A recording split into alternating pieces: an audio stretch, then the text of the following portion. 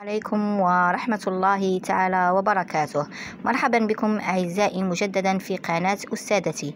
هذه هي شبكة تفريغ نتائج التقويم التشخيصي. كما طلبت مني بالنسبة للمستوى الثالث ابتدائي مادة اللغة العربية. تضم أسماء التلاميذ والمواد التي تم فيها إجراء التقويم التشخيصي القراءة فهم المقروء أساليب تراكيب وتحويلات التعبير الكتابي الإملاء.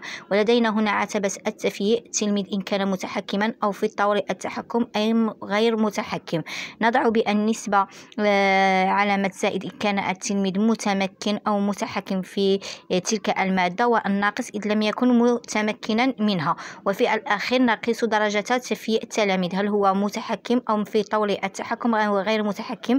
انطلاقا من هذه العلامات الموجودة. وأريد أن أقول ملاحظة إلى أنه بالنسبة لروائز التقويم التشخيصي آه، عبارة عن ملاحظة ملاحظات حيث أنه إذا تمكن من الإجابة عن السؤال نضع زائد وإن لم يتمكن من الإجابة عن السؤال نضع ناقص.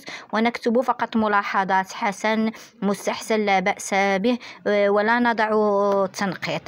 في الأخير لدينا توقيع الأستاذة والسيد المفتش وكذلك السيد المدير. ولا بد أن نضيف إلى شبكة تفريغ النتائج تقرير حول التقويم التشخيصي. هذا التقرير يبين آه، لنا نتائج التقويم التشخيصي والصعوبات التي يعاني منها التلاميذ. يسلم هذا التقرير للإدارة مع شبكة تفريغ نتائج التقويم التشخيصي. وهذه شبكة تفريغ نتائج التقويم التشخيصي بالنسبة للمستوى الرابع ابتدائي.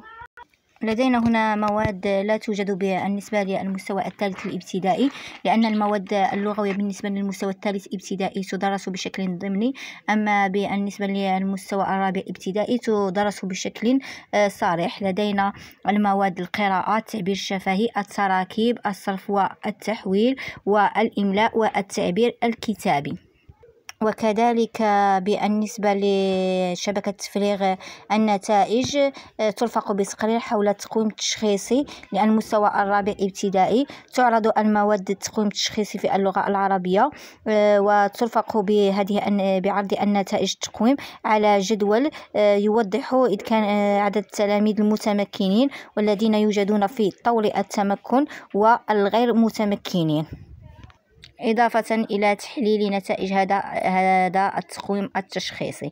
إذا هذا هو تقرير آه، المستوى الرابع ابتدائي. كما لاحظتم هو يختلف عن المستوى الثالث فهو يضم مواد التقويم وجدول يعرض نتائج هذه هذا التقويم التشخيصي. عفوا.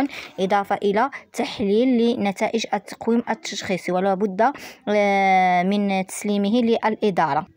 الهدف من تسليمه للإدارة هو أن يكون التقرير آه، يضم التلاميذ المتعثرين ولكي نرى آه، أين لديهم مشكل التعثر ونقوم بمعالجته ونرى مدى تحسن مستواهم الدراسي خلال السنة الدراسية. أتمنى أن تكونوا قد استفدتم وأعتذر عن الضجيج وإذ كانت هناك أي ملاحظة مرحبا بتعليقاتكم ومن أحتاج إلى شبكة تفريغ أو تقرير يرسل إلي أبعثه, عبر أبعثه له عبر الحساب. وشكرا.